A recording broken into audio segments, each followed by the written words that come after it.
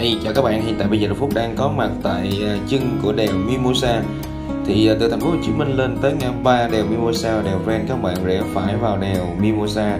Khoảng một cây số thì bên tay trái các bạn sẽ thấy trường ờ, đại học, ở trường tiểu học Nam Thành. Đối diện trường Nam Thành đó là lối nhỏ để vào trong vườn học này. Dạ, Phúc đang đi vô cái lối nhỏ đây các bạn, cái lối này rất là đẹp nhé à, Cái vườn học này nhỏ thôi chứ không lớn. Nhưng mà đủ để các bạn có thể có những cái tấm hình rất là tuyệt vời tại cái vườn hồng này rất là đẹp nha. Phía sau đó là cái rừng thông. Thì khu vực uh, dọc ờ, uh, đèo Mimosa này có rất rất là nhiều vườn hồng để cho khách du lịch đến tham quan. Thì cũng chia sẻ cho các bạn luôn là vườn hồng này nếu các bạn search trên Google Maps thì các bạn gõ là vườn hồng chân đèo Mimosa là nó sẽ ra nhé chứ vườn hồng này không có tên. À, cái số điện thoại ở trên Google Maps các bạn có thể gọi trước nha. Chúng ta nên gọi trước để mà xin cái chỗ cũng như nếu như mà đoàn của các bạn cần nhiều hồng để mua thì à, chúng ta nên à, nên nên gọi trước cho chủ vườn. Thì à, bạn này bạn tình nhân bạn cũng cũng rất là dễ thương còn trẻ thôi nhưng rất dễ thương nhé đây tại bây giờ đây, từ đầu đường vào trong này mình đã đi uh, hết chiều dài của cái vườn hồng này. Đây vườn hồng treo gió Thành Hưng à, tên là Thành Hưng. Nhưng các bạn nhớ search trên Google Maps thì nó không có ra nhé các bạn phải search là vườn hồng chân đèo Mimosa rồi bây giờ cùng đi với Phúc vào trong à, để à, tham quan cái vườn hồng này. Hôm nay đi với bạn gái của mình. Bạn gái mình từ à, Thái Lan về.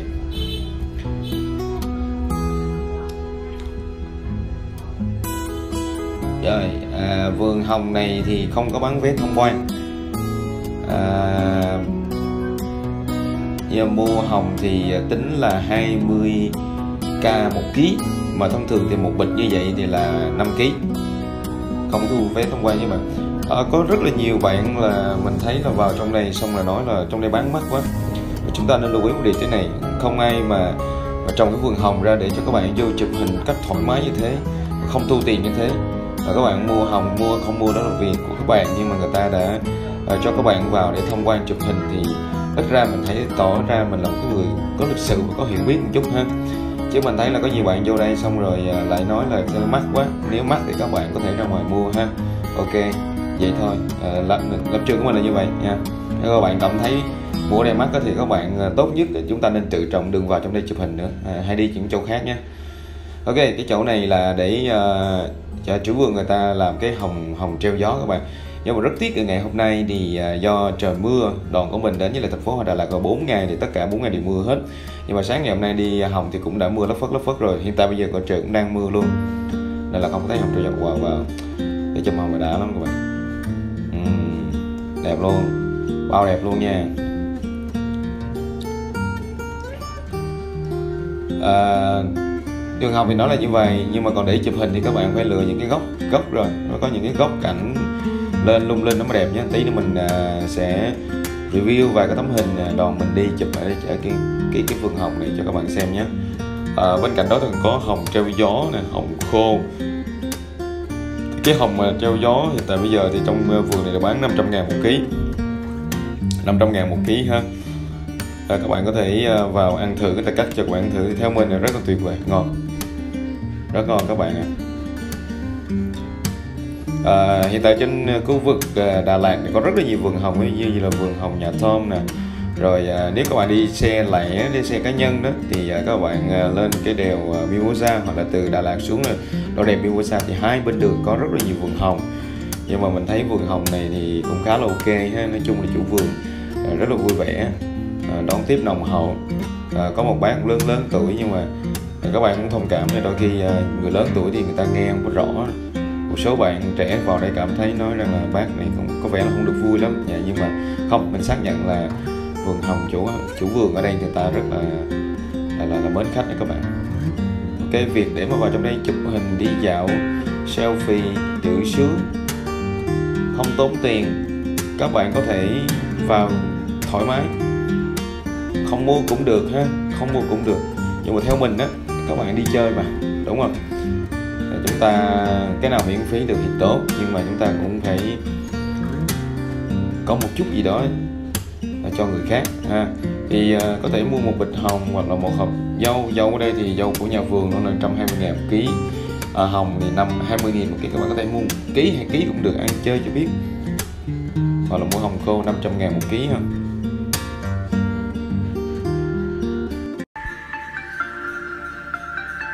À, hiện tại bây giờ thì ờ, còn khoảng độ một tháng nữa thì các bạn đến ờ, đến đây thôi.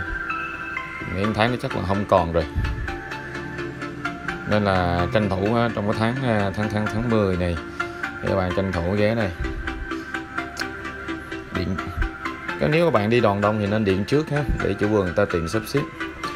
À, cũng lưu ý là vào trong đây thì mình đừng có hái của người ta nhé.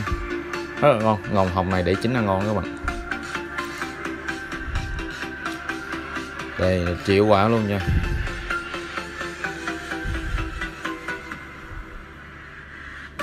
Ok.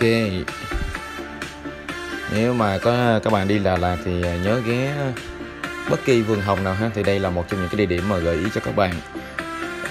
Search trên Google Maps trường tiểu học Nam Thành, nằm khu vực chân đèo Mimosa, đối diện là vườn hồng này đây là một vài tấm hình review cho các bạn thấy những cái góc chụp của đoàn mình.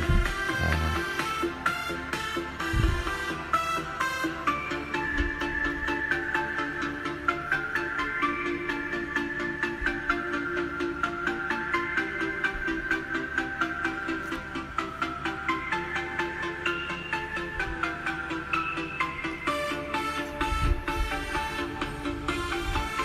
à, cũng lưu ý với các bạn thì à, ờ, giá hồng thì nó có nhiều loại lắm ha.